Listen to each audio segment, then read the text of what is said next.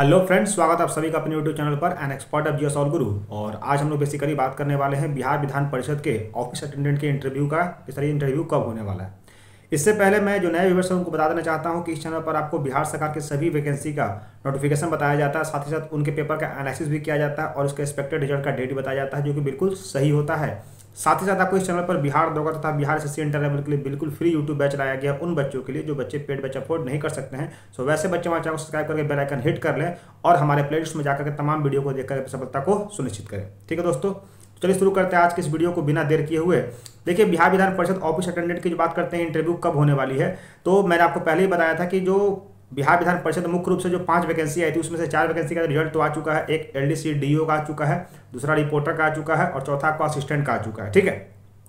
मैंने बताया भी था कि जब तक पहले इन लोगों का आपका रिज़ल्ट क्लियर नहीं करेगा, तब तक आप लोग के ऑफ़िस अटेंडेंट का इंटरव्यू के बारे में ज़िक्र ही नहीं होगा, अब होगा ही नहीं। लेकिन अब चूँकि इन चारों का डेट यानी रिज़ल्ट आ चुका है, जिसमें से दो का तो डॉक्यूमेंट वेरिफिकेशन है, एलडीसी और डीईओ का, और दो का जो है मुख्य रूप से मेंस एग्ज़ाम है, एक आपका रिपोर्टर और दूसरा आपका है असिस्टेंट का मेंस का, ठीक है? इन दोनों की बात करते हैं, मेंस के साथ साथ आप लोग का इंटरव्यू भी होगा, यानी इस दिसंबर में आप लोग का इंटरव्यू जो है, वो एक्सपेक्टेड है इस मंथ के लास्ट तक। जी हाँ दोस्तों, इस मंथ के लास्ट यानी दिसंबर के 25 से लेकर 30 तारीख तक बात करते हैं। आप लोग का इंटरव्यू का डेट होने वाला है, लेकिन आप लोग को इससे सात दिन पहले ही मालूम चल जाएगा, यानी आप 20 तक अपना माइंड मेकअप करके चलिएगा। अब कुछ बच्चे मुझे ये भी मैसेज कर रहे थे, सर इंटरव्यू में क्या पूछने वाला ऑफ़िस अटेंडेंट तो देखिए, चूँकि ऑफ़िस अटेंडेंट एक ऐसा पोस्ट है, जो कि बेसिकली फाइलों को एक विभाग से दूसरे विभाग लेकर जाता है, या फिर एक पदाधिकारी के कैबिन से दूसरे पदाधिकारी के कैबिन में लेके जाता है। अब इसमें आपको कोई ऐसा कोई खास सेक्टर नहीं जहाँ से क्वेश्चन पूछेगा।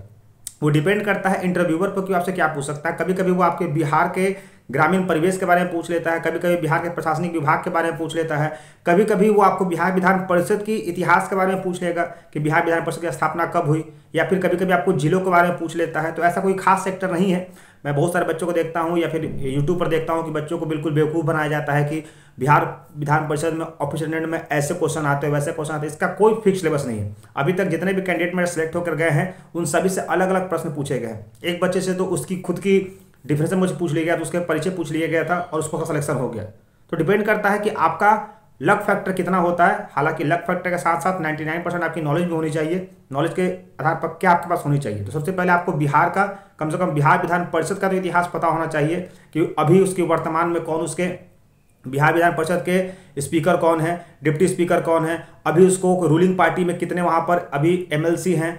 अपोजिट पार्टी में कितने एमएलसी हैं, साथ ही साथ बिहार विधान परिषद को जो फंड एलोकेट होते हैं, वो देखना पड़ेगा। बिहार विधान परिषद का जो सेक्रेटरी हैं, जो कि आपका ये मुख्य रूप से एग्ज़ाम को निकाले वैकेंसी को निकाले, उनके बारे में पता होना चाहिए। ये बेसिक चीज़ें हैं। साथ ही साथ बिहार के अन्य राज्यों यानी अन्य जिलों के बारे में आपको पता होना चाहिए कि बिहार में कितने ज़िले हैं, बिहार में कौन सा जिला अधिक पिछड़ा है, कौन सा जिला अधिक आगे है, इसके बारे में पता होना चाहिए। ठीक है बेसिक डिटेल हालाँकि इसके बारे में मैं बहुत जल्द आपको बिहार का, इसके बारे में तो इंटरव्यू के बारे में एक दस मिनट का सेशन लेकर आऊँगा, क्योंकि आपको पता ही होगा कि हमारी वीडियो या कि लंबी नहीं होती है टू दी पॉइंट होती है।